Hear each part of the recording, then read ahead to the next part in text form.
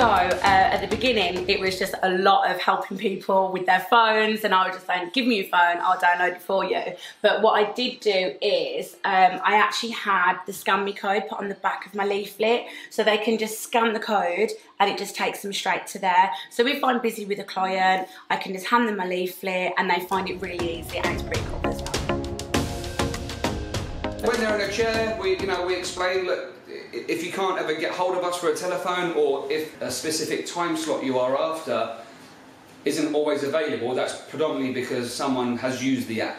So you're losing out on a bit more freedom for the time that you want because you're not using the app. You're walking in asking for an appointment that might have already been taken by someone using the app. So we try and promote while they're in a chair, get them to download the app. We'll try and use, you know, spend 30, 30 seconds to a minute with them because it's, again, a couple of steps and then you should book an appointment. It's really, really simple. All your reminders, emails, everything 25, 26 hours before. I think once customers realise that they get this reminder the day before and it's in their calendar and it's really easy to cancel and book, it's, again, it's a no-brainer. So for everybody, it takes maybe one or two bookings for themselves and then they realise how beneficial it is.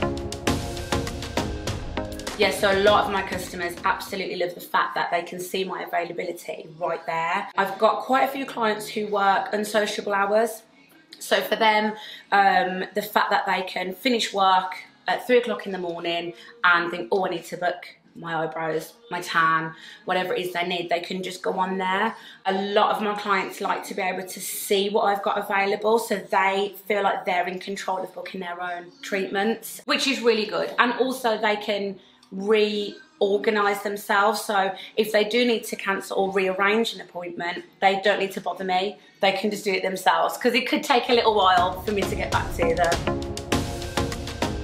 It just allows them to create their own schedule. I mean, I've worked in walk-in shops in the past and they're great, like they've got a buzz about them, but you constantly feel like you're on the back foot because you're having to rush haircuts to get more people in. Whereas by the clients using Booksy, they know that they've got a 45 minute or an hour slot out of their day that they're booked in. They know they're going to be in there at that time and then they can get on with the rest of their day.